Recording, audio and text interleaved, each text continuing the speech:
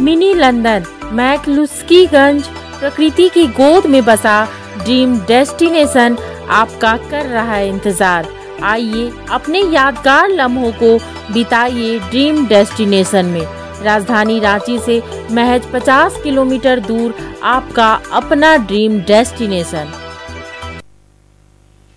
हजारीबाग के बड़ी में चंद्रवंशी श्री सनातन महासेवा धर्म जागरण का आयोजन 3 मार्च से लेकर 9 मार्च तक किया जाएगा। अखिल भारत वर्षीय क्षत्रिय चंद्रवंशी महासभा की ओर से पूर्व मुख्यमंत्री बाबूलाल मरांडी को आमंत्रित किया गया।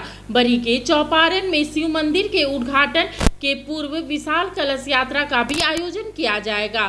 चंद्रवंशी महासभा की ओर से शिव मंदिर के उद्घाटन के गरीब की बेटी का कन्यादान भी किया जाएगा।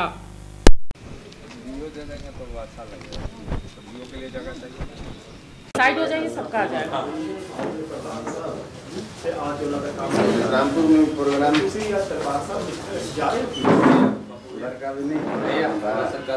अरे भाई सर इधर सामने सामने।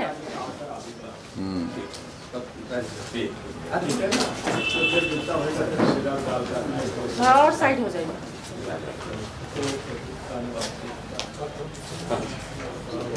हो गया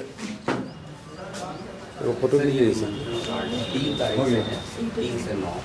टाइम हो आप यहाँ से नहीं आना है कोई भी नहीं ज़रूर आप सब फिक्स कर लिया जाए। हेलो हाँ थोड़ा देख लेना जी ठीक है?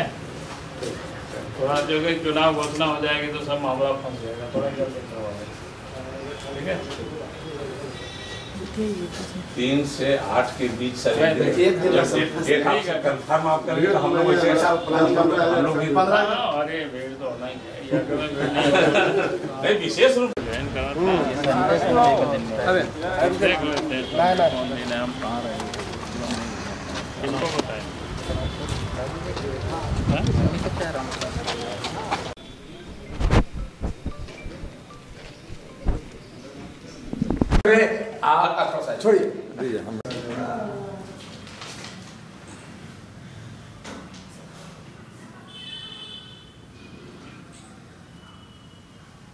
करा था। देख लेते हैं है, हम कहाँ रहे किनको बताएँ फ़ोटो बहुत बढ़िया है। ना सब लोग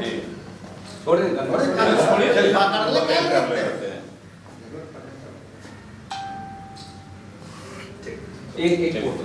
एक एक एक फ़ोटो यहाँ से लिया सेंटर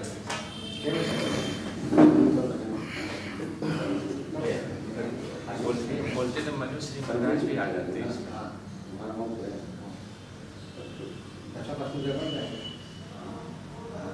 अभी भी नहीं हुआ आज हम लोग बाबूलाल मरांडी जी को आमंत्रित करने आए थे कि चंदवंशियों का एक महाजग जो चंपारण के बीघा बाज़ार में हो रहा है उसमें इनको भी आमंत्रित किया, जिसमें तीस हज़ार पचास हज़ार की संख्या में वहाँ लोग उपस्थित होंगे।